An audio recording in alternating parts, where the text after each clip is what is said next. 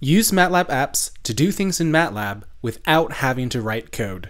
From designing digital filters to deep learning networks, all apps provide a visual, interactive experience that shows you upfront what you need to complete that task. And any work you accomplish can be quickly reproduced and shared with others through the app's automatic code generation. MATLAB has tools that cater to an extensive range of science, engineering, and research areas, and many of these toolboxes have apps for important and common tasks. Even if you only have a high level understanding of a particular domain, you can use apps to perform meaningful computations and learn from those results. Domain experts can quickly use MATLAB apps to produce results, visualizations, and data models, again, without needing to write any code. While each app is specialized for its particular task, you'll follow the same general steps to start using them. First, you can see your available apps by clicking the Apps tab up here. If you're confronted with a flurry of options, use the search bar to narrow down your selection. Naturally, one of the first things you'll do is import data to the app. Usually, this will be data from the MATLAB workspace, although apps which process things like images or videos provide options to import from your file system. If you're new to the domain, you can accept the default settings, but if you understand the effect of these settings, you can adjust them to produce results more accurately and quickly. Generally, the app will provide a visualization of your data and provide direction for exploring your data through the app's interactive controls.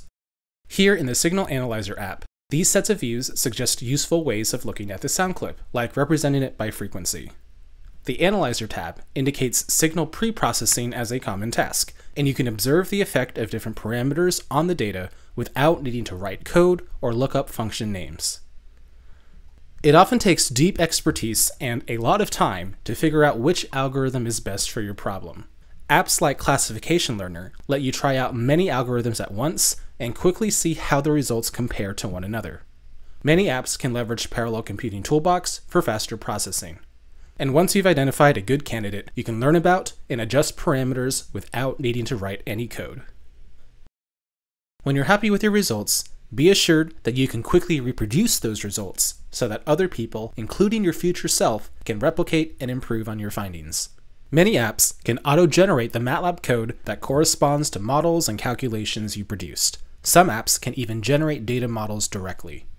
To use the auto-generated code, like this MATLAB function, simply run the function with the same data as you input to the app, and you'll get the same results, in this case, the selected model for export. Now that MATLAB has written all this code, you can make adjustments to the function and quickly apply it to other data. MATLAB apps save time and energy writing and troubleshooting new code. They make it easy to learn about new domains and analyze your data, with all the steps and components of key workflows in one place. No need to look up individual functions. You can run multiple experiments on your data and compare results side by side to find the best one. And you can quickly reproduce your work, enabling others to leverage your findings and quickly apply them to other data. To get started, click on the Apps tab to see which apps are available to you and visit the apps documentation for examples and more information.